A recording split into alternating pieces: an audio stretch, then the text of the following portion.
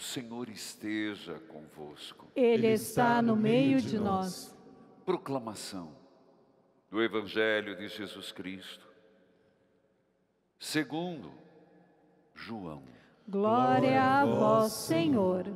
Naquele tempo, Jesus ergueu os olhos ao céu e disse: Pai, chegou a hora.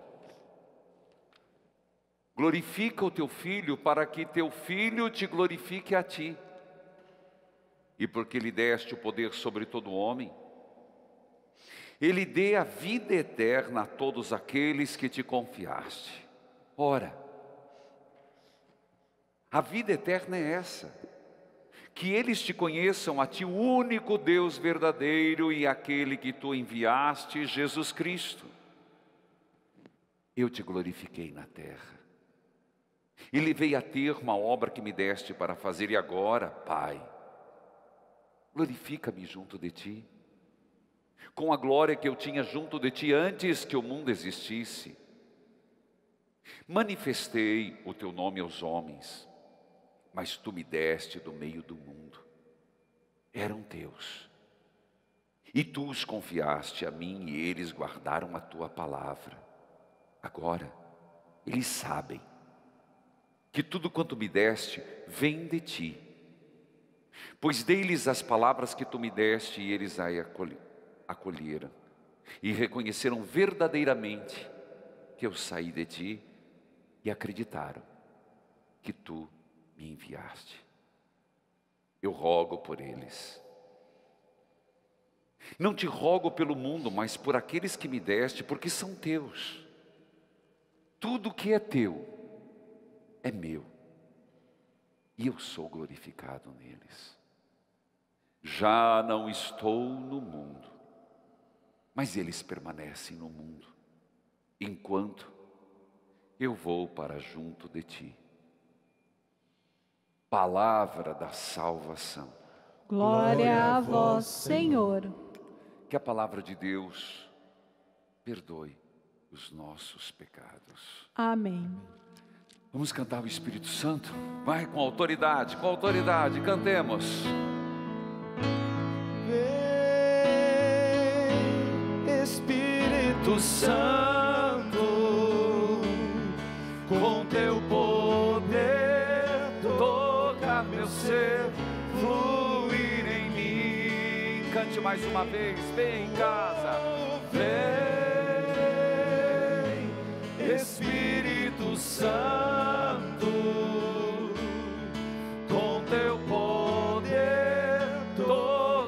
meu ser, fluir em mim. Hoje o céu se abre, nós estamos no quinto dia da novena. Vem criado Espírito, vem Espírito Santo de Deus, dai-nos os teus sete dons e dai-nos os frutos do teu Espírito, dai-nos a graça de um novo Pentecoste, Senhor. Repita, dai-nos a graça Dai-nos a de graça um novo Pentecostes. de um novo Nossa Pentecostes. Senhora, Nossa Senhora, fica conosco neste cenáculo fica conosco neste cenáculo. e dai-nos viver os frutos do teu Espírito. E dai-nos viver os frutos do teu Espírito. Repita comigo que você que está em casa, Nossa Senhora, Nossa Nossa Senhora, fica conosco fica e conosco dai-nos a graça e dai-nos a graça de viver os frutos do Espírito. de viver os frutos do Espírito. Vem Espírito Santo com toda a força, com toda a unção. Espírito Santo sobre nós, sobre a humanidade, sobre a igreja, sobre o Papa Francisco, sobre nós que estamos nessa novena, sobre aqueles que estão acompanhando pelo rádio, pela TV, pelos aplicativos. Santo Espírito Santo, com teu poder, com teu com poder, toca meu ser, fluir em mim. Filhos queridos, hoje esse texto do Evangelho, eu sou sempre apaixonado por ele. É verdade que dias atrás eu preguei sobre Jesus, o eterno e sumo intercessor.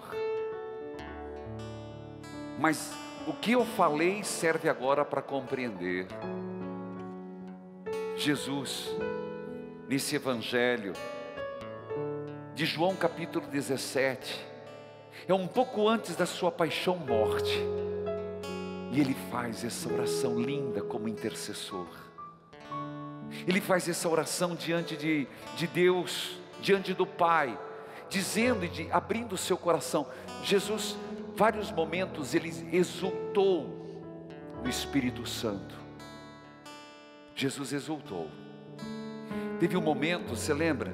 Exultando, Pai, eu te louvo, ó Pai, porque escondeste as coisas dos sábios, entendidos e as revelastes aos pequeninos. Hoje, Ele fala mesmo, exultando, agindo. Ele vai dizendo, Pai, eu já não estou no mundo, Pai, eu rogo pelo mundo, Pai, eu vou, eles vão ficar.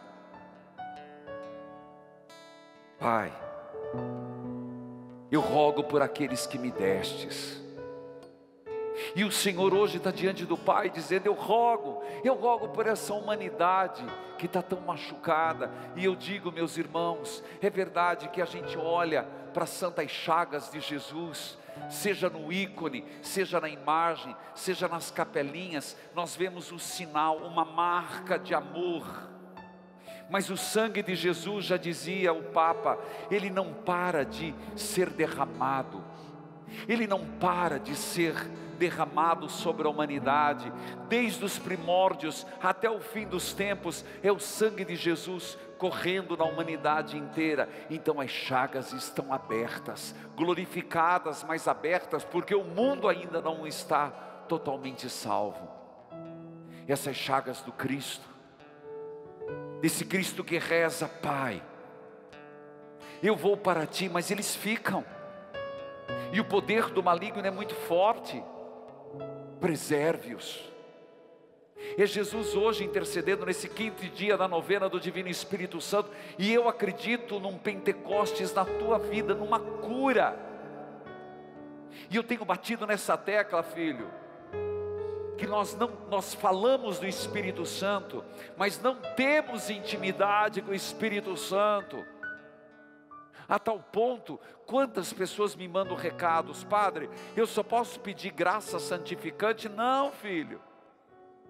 Você pode pedir tudo para o Espírito Santo, Ele é Deus. Você pode pedir tudo é fruto do amor do Pai e do Filho, amor genuíno.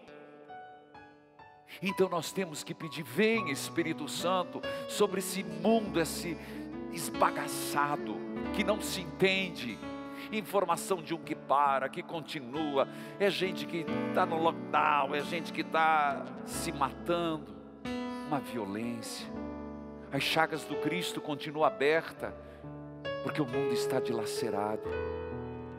Pela igreja, de tantos e milhares de católicos que estão sem receber a Eucaristia, as chagas do Cristo estão abertas, sangrando, seu coração está sangrando, por tantas almas que desejam a Eucaristia.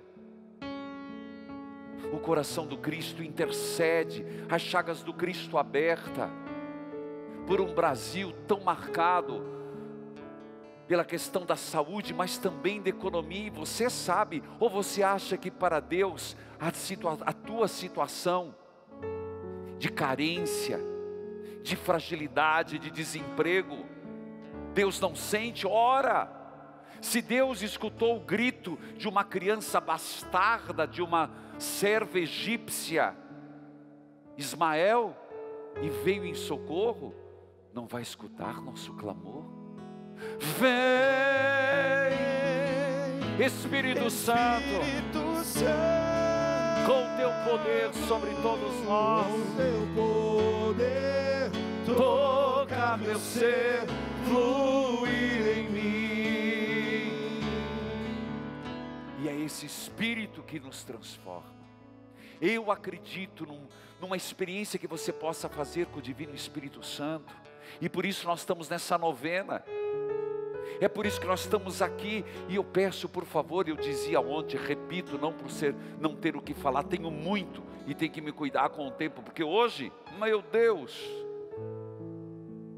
Mas onde você estiver lavando a louça, tomando banho, carpindo, nessa semana vem Espírito Santo, vem Espírito Santo, vem Espírito Santo. Vai dizendo, meu filho, que o milagre acontece é Pentecostes.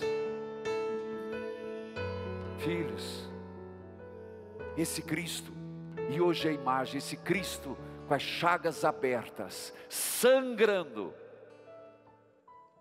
está diante de Deus intercedendo pela igreja e suscitando que sejamos apóstolos, discípulos, mas movidos pelo Espírito prisioneiros do Espírito, como diz a primeira leitura. Ah, Paulo, oh Paulo, que coisa mais forte que ele diz. E olha, se me permite uma leitura, eu até ia dizer um livro, mas amanhã eu digo um livro que eu quero que você leia para celebrar, celebrarmos juntos Pentecostes. Hoje eu peço muito que você leia Atos dos Apóstolos, capítulo 20 versículo 17 a 27. Meu Deus, que texto maravilhoso, grava lá. Atos 20, 17 e 27. Quando Paulo diz assim: como prisioneiro do Espírito,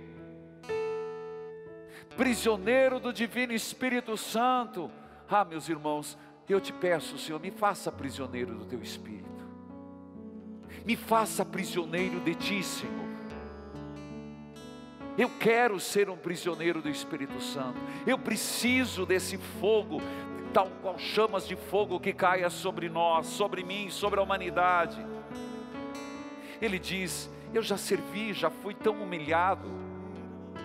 Olha o que Paulo diz: Eu já chorei. Paulo dizendo, como prisioneiro de, Espírito, eu derramei lágrimas, passei grandes tribulações, eu sofri ciladas, mas sou prisioneiro, nunca deixei de anunciar. Paulo, ele vivia com o Espírito Santo tão forte nele, esse Espírito Santo, se a gente se, se sente arrebatado pela vida de Paulo, eu me sinto arrebatado pela vida de Paulo, é porque Paulo transpirava por todos os poros o Espírito Santo, e é isso que nós estamos precisando.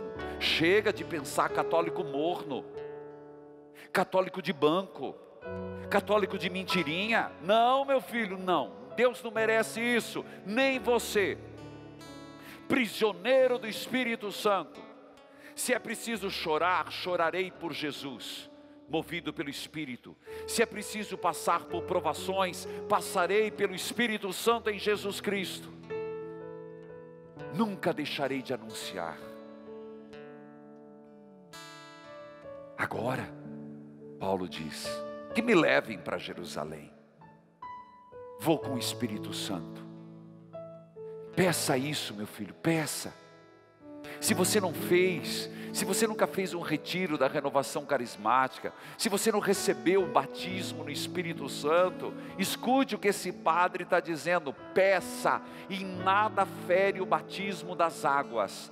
O batismo primeiro, aquele indelével, o batismo da água, batizado em nome do Pai, do Filho e do Espírito Santo, é indelével, intransferível, jamais se tira e não tem nada a ver com esse batismo. É um, eu diria, uma confirmação do batismo no Espírito Santo. Você já pediu? Você já, eu fui batizado no Espírito Santo.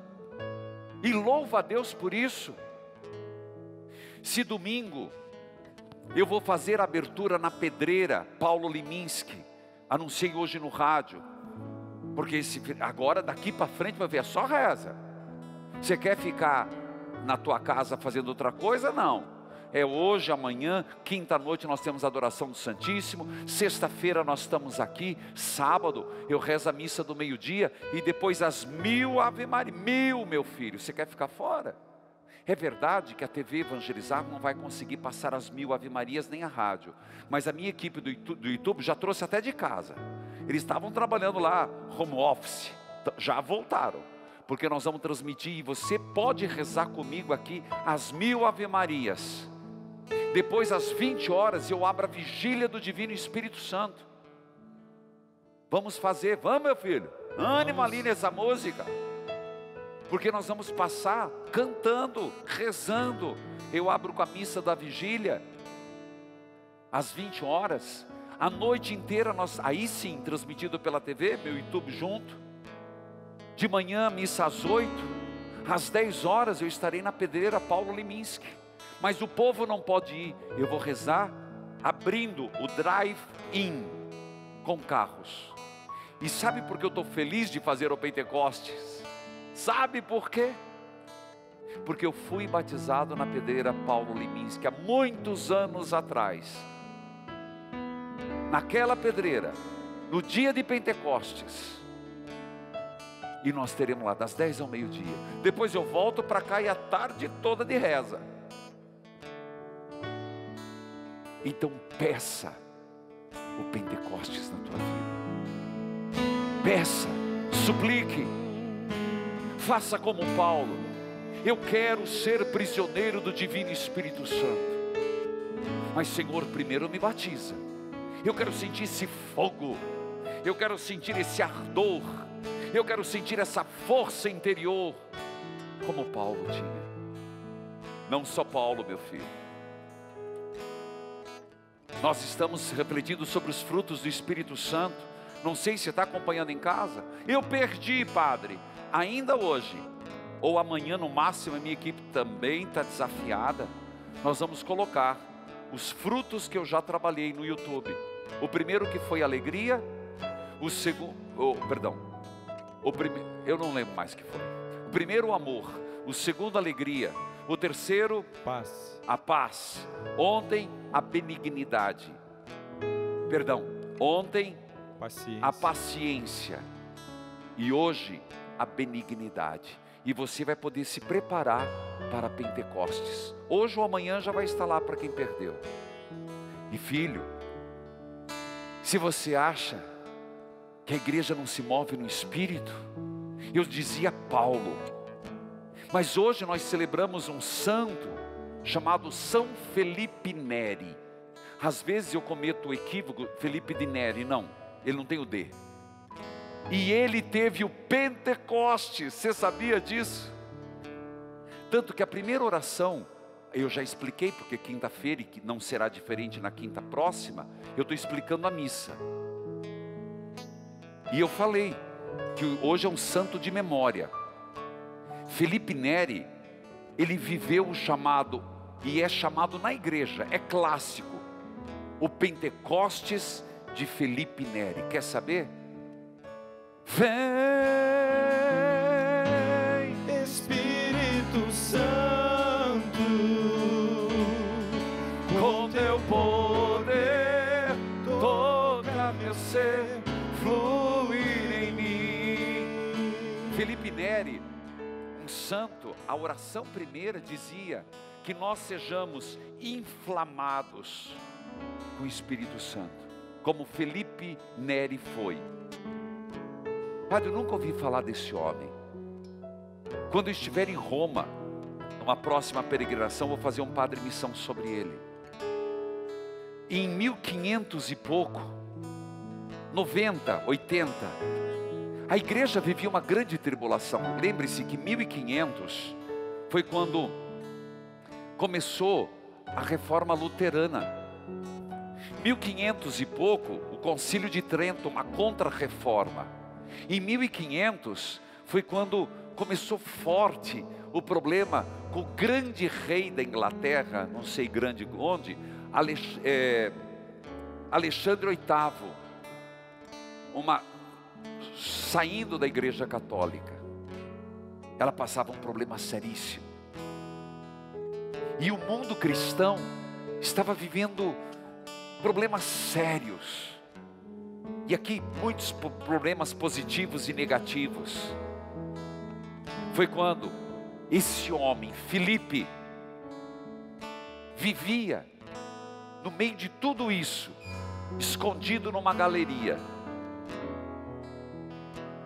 em prece. E sabe qual era a prece de Felipe Neri? Enviai, Senhor, o vosso Espírito e renovareis a face da terra. Diz a tradição que ele foi até as catacumbas dos mártires e ele fez uma novena ao Espírito Santo. Você está entendendo? Hoje é o dia de São Felipe Neri. E ele convocou as pessoas para rezarem lá nas catacumbas. Veni creator Espíritos, enviai o vosso Espírito e renovais a face da terra. Diz que quando chegou no final desse momento de oração, ele sentiu uma experiência mística que eu e você podemos sentir, que Paulo sentiu. E vou descrever como estão nos altos. O coração dele começou a se encher. Ele começou a sentir uma alegria como nunca. Uma alegria que ele descreve de amor mais forte que nunca tinha sentido antes. Ele descrevia que era uma bola de fogo que entrou pela boca dele e a bola de fogo parou no coração. Ele narra e os outros que naquela hora ele sentiu um excepcional sentimento de amor e das coisas divinas. Mas era tão forte que o corpo dele não aguentou. Não podendo se conter com essa bola de fogo, o coração dele aumentou. E foi até a quarta e quinta costela, porque precisava de mais espaço. Esse fato que aconteceu com o santo que celebramos hoje, aconteceu na vigília de Pentecostes, sábado, e passou para a história como Pentecostes de São Felipe Neri os frutos daquela experiência mística, daquele batismo no Espírito, daquela unção do Espírito Santo, fez com que esse homem tivesse tanta doçura, fogo da caridade. E o que, que ele começou? Fruto daquela experiência, ele foi para a catequese, catequizando todos aqueles que estavam em meio às heresias, foi para a renovação social da Itália foi para levar o povo de Roma, que estava perdido no meio de tantos escândalos, foi no período do Papa Borgia. Não posso entrar nisso, isso é outra história. Ele conseguiu salvar a comunidade de Roma pela experiência do Espírito Santo. Essa bola de fogo na véspera de Pentecostes, que entra pela boca e vem no coração. Cante, vem Espírito Santo, vem nesse quinto dia. Espírito Santo, com teu poder, com teu poder, vem sobre nós, Senhor, vem, dai-nos esse novo Pentecostes, Senhor.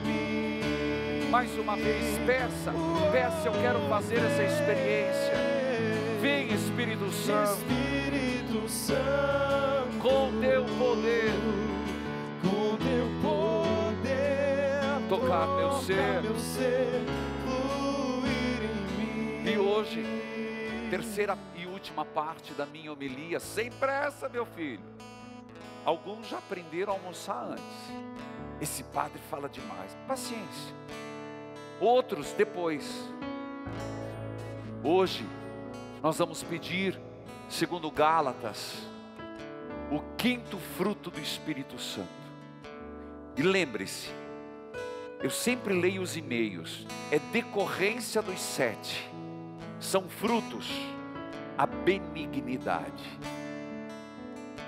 Geralmente, a palavra benignidade é rapidamente entendida como ser bom mas não é. Uma pessoa com atos bons pode não ser benigno. explica, padre. Eu ajudo. Eu estou falando mais do que cortês, polido. Eu estou falando que não é uma questão de mero comportamento social. É mais. É um fruto do Espírito Santo. E veja que todas as homilias eu estou colocando onde esse fruto do Espírito Santo corrige. Você lembra? A alegria, a tristeza. Você lembra? Você lembra quando eu falei da longanimidade ontem contra uma pessoa surtada, irritação? Se lembra do fruto contra a depressão? Pois é. Não confunda, porque benignidade é uma parte da bondade. Benignidade é disposição de ser bondoso com o próximo, diz respeito à intenção. E eu preciso lembrar, porque na vida espiritual, na mística espiritual, os místicos, os grandes místicos, e cito alguns: Teresa d'Ávila, São João da Cruz, Catarina de Sena, principalmente Santo Agostinho, nem, nem, nem, indiscutivelmente, São Tomás de Aquino, eles falam muito sobre olhar a reta intenção. Lembra que eu falei que você pode ter uma intenção, você pode fazer um gesto, mas se esse gesto não tem uma reta intenção, o gesto perde o sentido. Você pode fazer um gesto de bondade, mas se a intenção, que é a que santifica, é a intenção, a intenção com que faço, a intenção com que escuto, a intenção com que dou uma cesta básica, a intenção com que eu acolho o outro. Se é para engrandecimento, lembra, eu já falei sobre isso, mas eu preciso que você tenha claro esse conceito, porque é fruto do Espírito Santo. Essa intenção reta é benignidade. A bondade é uma parte dela. Significa excelência de caráter. Vou dar um exemplo. Pensar bem sobre as pessoas. A priori, uma pessoa com fruto do Espírito Santo, ela é benigna. E a bondade dela é: antes de pensar mal, eu penso bem. Ixi. Eita peste! Como é que fica as maricotas da vida? Que você vê duas pessoas conversando, hum, você vê uma pessoa agindo, tem gente que naturalmente vai para o lado ruim, vai para o lado malicioso, vê uma coisa e já vai para a parte negativa. É falta do fruto do Espírito Santo. Porque uma pessoa que age no Espírito Santo, ela é natural, não é algo forçado, é a lei moral positiva. O que é lei moral positiva? É algo que brota naturalmente, transborda. Ela já não vai com malícia, ela não vai com, com mimimi, ela não vai com mexerico, ela não consegue a priori, num primeiro momento, olhar que a pessoa está fazendo aquilo por mal. Depois também não é tonta. Se a pessoa se revela como algo ruim, é óbvio, isso é um dos dons do Espírito Santo, discernimento. Mas antes não. E nós estamos muito aqui. Primeiro ruim. Gente, olha como isso atrapalha dentro de casa. Olha isso como atrapalha de novo. Vou pegar marido e mulher. Olha como isso atrapalha. Diga para mim. Recebeu uma. Tá duas pessoas conversando. Marido e mulher. Tocou o telefone. Quem é a periguete? Ô padre, não fala essas coisas na igreja. Eu preciso dar exemplo. Senão eu fico falando com água com açúcar e a pessoa não entende. Estou numa minha, na minha pastoral. A pessoa, qualquer coisa que ela faz, você já vê o mal. Está faltando caráter, está faltando benignidade, está faltando fruto do Espírito Santo.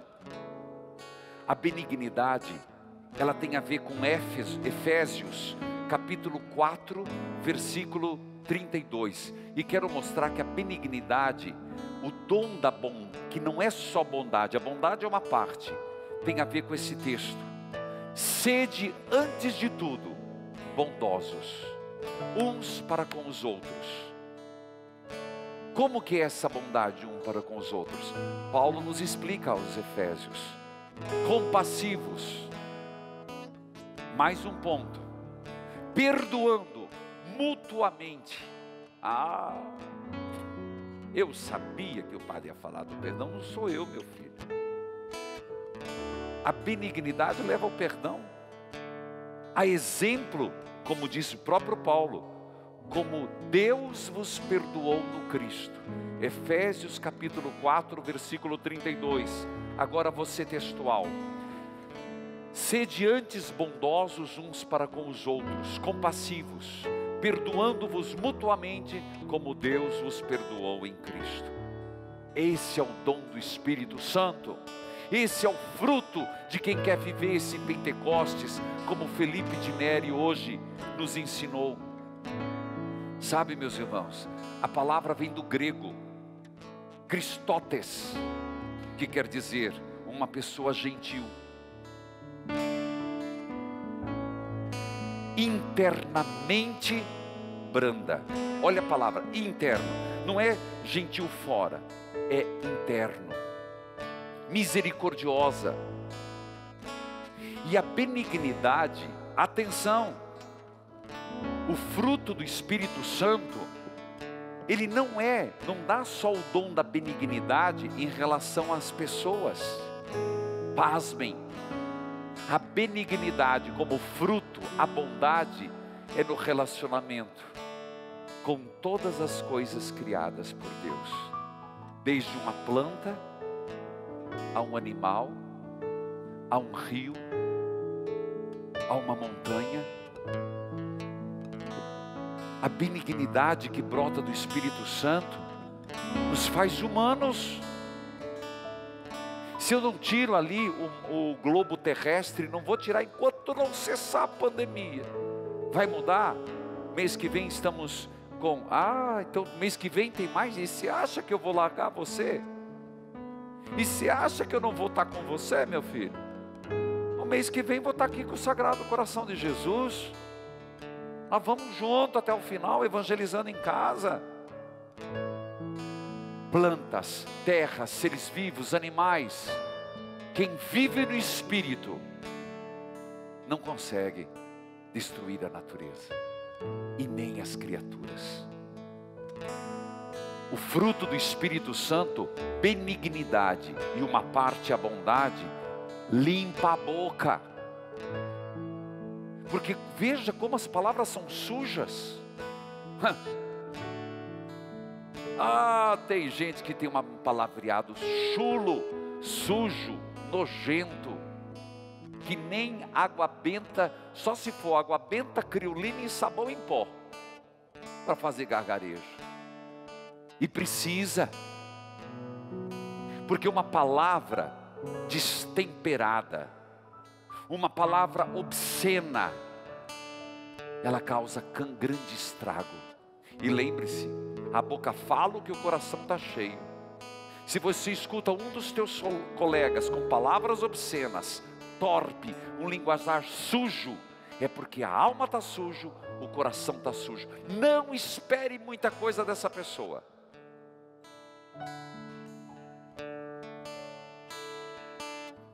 As atitudes. Uma pessoa que age pela benignidade, que é mais do que só bondade, ela é uma pessoa de doçura, porque transmite o amor de Deus. É uma pessoa misericordiosa, que diante de uma pessoa que cai, mesmo nos caluniando, mesmo uma pessoa que cai na sua fragilidade carnal, você entende a palavra carnal? Nós não somos aqueles com a pedra tentando apedrejar. Nós somos aqueles que é capaz de dizer: vem comigo, pode contar comigo. Isso é benignidade. Isso é fruto do Espírito Santo. E como eu disse, nada por obrigação, é algo natural.